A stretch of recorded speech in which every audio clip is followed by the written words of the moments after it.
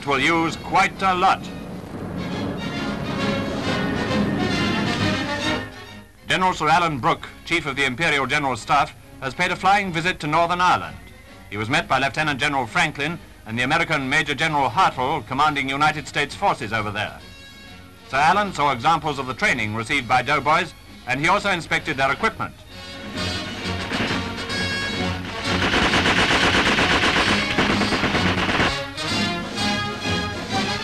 Radio communication equipment was the subject of special interest while the General was with the signals unit.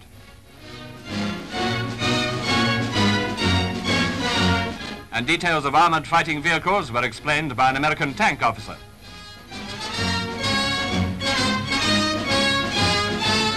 Sir Alan's visit serves to underline the cordial spirit of cooperation between British and American armies.